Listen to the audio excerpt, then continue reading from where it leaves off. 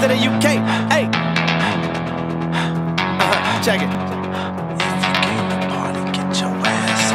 If you can't dance, you need to kill yourself.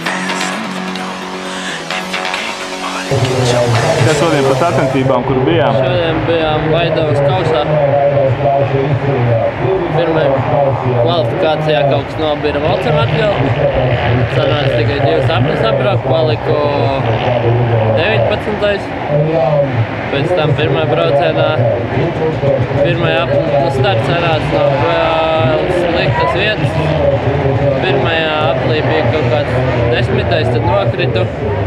Tad uh, atkal saķēru un tad vēlreiz nokritu aizsi telpu.